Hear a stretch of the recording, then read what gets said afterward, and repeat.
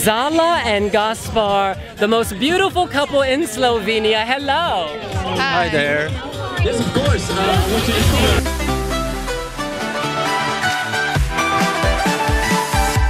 Is this your first red carpet? It's orange. It's orange, yeah. delegation. First orange carpet. And how did you choose your outfits for tonight? Well, I have one dress and it's my prom dress and I'm wearing it bothering you guys. Like you guys And I need to just room. tried to Seriously, match her, which I didn't party. really succeed Sure. at. Okay, today. great. But listen, we have And have you been eating more ice cream in bed? next contestant. is Yeah, about to every come day, to all of the carpet. time. And she We're comes from freezing far, already. Away from my other And the competition's almost here. Are you feeling nervous? from Brisbane, No, from. Brisbane. But you look tired, you should rest more.